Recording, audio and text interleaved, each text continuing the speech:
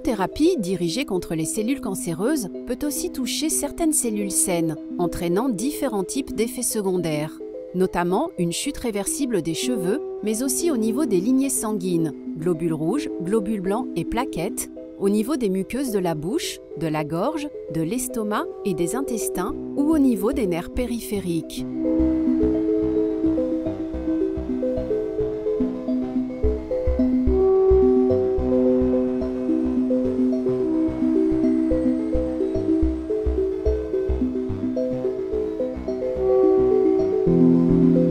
Quasi systématique, la chute des cheveux commence entre 2 et 4 semaines après votre première chimiothérapie. Il peut être utile de couper progressivement les cheveux et d'anticiper l'achat d'une perruque pendant cette période. Par ailleurs, tout le système pileux peut être affecté. La repousse suit rapidement après la dernière chimiothérapie.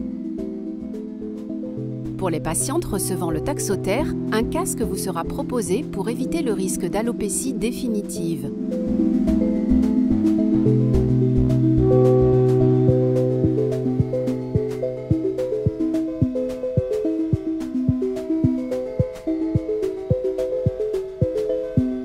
Pendant la chimiothérapie, la peau devra être hydratée. Elle devra aussi être protégée du soleil à l'aide de crèmes indice 50.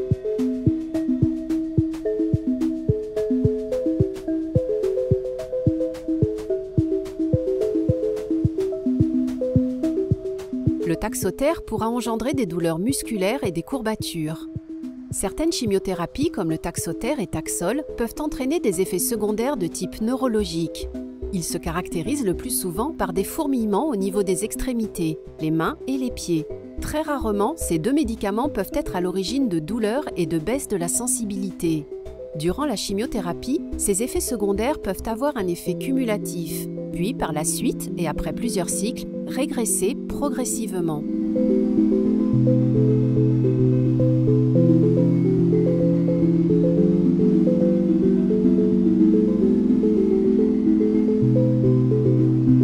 La chimiothérapie peut abîmer les ongles des mains et des pieds. Un vernis protecteur pourra être appliqué. Des gants froids vous seront proposés pour protéger les mains. Les socio-esthéticiennes et la conseillère en images sont disponibles gratuitement et sur rendez-vous pour vous aider.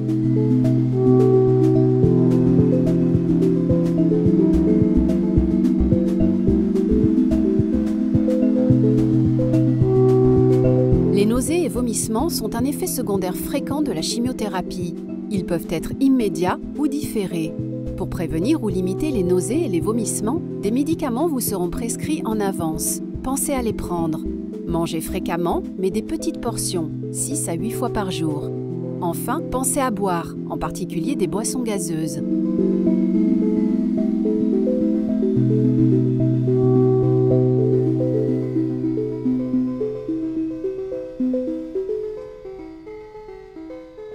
La surveillance de votre poids et de votre alimentation doit être régulière au cours des traitements anticancéreux et au-delà. Aux deux extrêmes, un surpoids trop important ou une perte de poids excessive doivent être prises en charge par l'équipe de diététique et de nutrition. Une perte d'appétit, des troubles du goût des aliments ou un dégoût pour certains aliments peuvent apparaître en cours de traitement et sont aussi des signes d'alerte pour l'intervention de l'équipe de diététique et de nutrition. Les diététiciennes et les nutritionnistes de Gustave Roussy seront là pour vous apporter des conseils d'adaptation de votre alimentation en fonction de vos symptômes et vous orienter sur les objectifs nutritionnels et de poids au cours et au décours des traitements.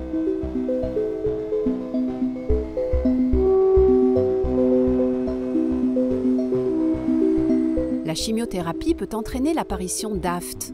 Des bains de bouche adaptés vous seront prescrits.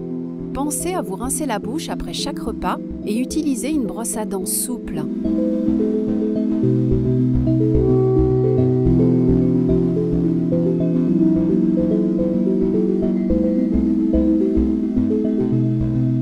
La constipation est un effet secondaire du traitement. Elle peut être liée aux antiémétiques.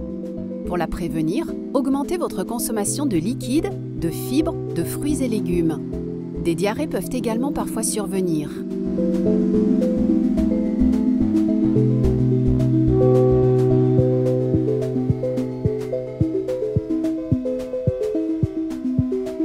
La chimiothérapie peut avoir des effets secondaires sur les globules.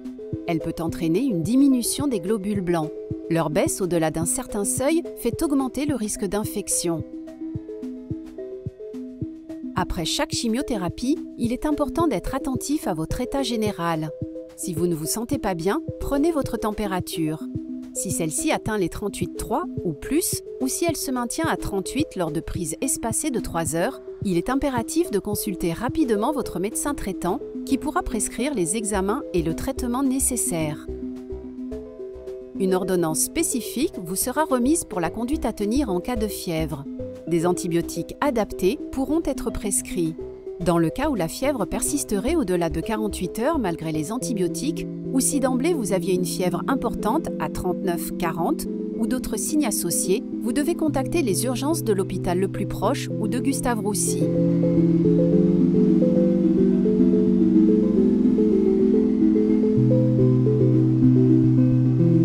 Concernant les infections, il n'y a pas de précautions majeures à prendre en général. Le risque de fièvre est d'environ 10%. En cas de risque plus élevé, un traitement préventif vous sera proposé. La vaccination antigrippale est recommandée. Pour prévenir le risque d'infection à certaines périodes, au moment de l'aplasie, il convient enfin d'éviter de côtoyer les personnes ayant rhume, grippe ou toute autre infection. Enfin, lavez-vous les mains fréquemment.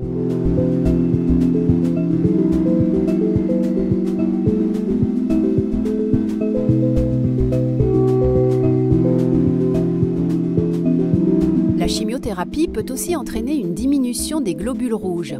Leur baisse peut engendrer des symptômes cliniques tels que fatigue, essoufflement à l'effort, maux de tête ou passer parfaitement inaperçu sans aucun signe.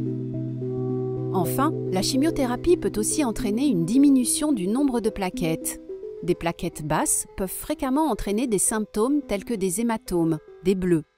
D'autres manifestations, le plus souvent sans gravité, peuvent apparaître telles que saignement de nez ou de gencives ou présence de sang dans les urines ou dans les selles.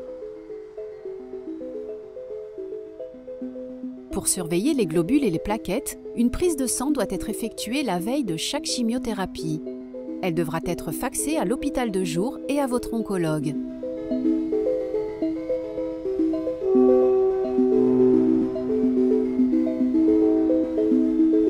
La chimiothérapie peut avoir des effets secondaires sur vos cycles et altérer la fertilité.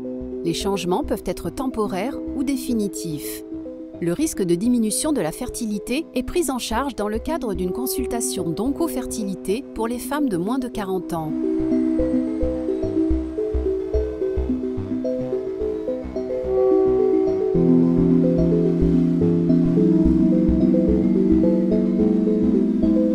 Sexualité peut elle aussi être affectée par le traitement? Les rapports sexuels sont autorisés pendant le traitement.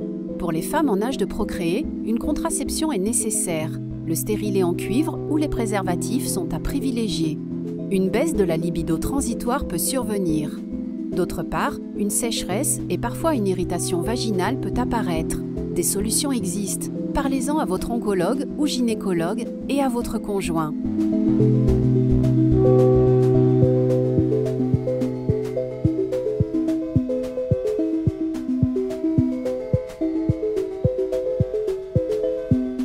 Est un effet secondaire fréquent. Suivez votre rythme. Autorisez-vous des temps de repos. N'hésitez pas à demander de l'aide. Pratiquez une activité physique régulière adaptée à vos possibilités. Maintenir ou initier une activité physique est bénéfique. L'activité physique durant le traitement peut avoir un bénéfice direct sur le mieux-être. Elle entraîne notamment une meilleure tolérance des traitements et une maîtrise du poids et du transit.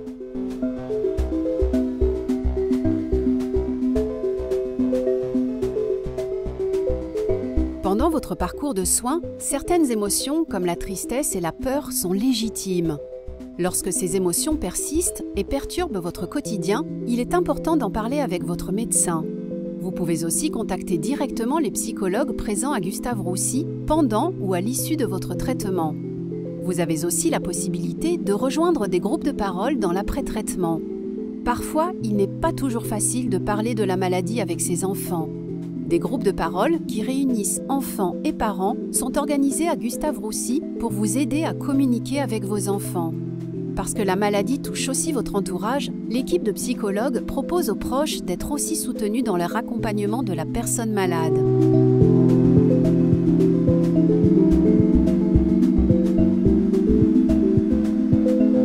Des pertes de mémoire, des difficultés de concentration peuvent survenir suite à votre traitement par chimiothérapie. Si ces difficultés persistent et perturbent votre qualité de vie, une consultation spécifique vous est offerte. Si vous ressentez des douleurs persistantes malgré le traitement antidouleur mis en place par votre oncologue, vous pouvez rencontrer dans ce contexte les médecins de la douleur à Gustave Roussy.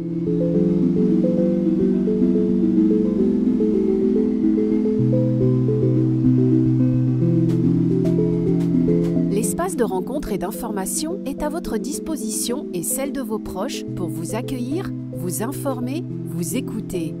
Il est situé au rez-de-chaussée de l'hôpital.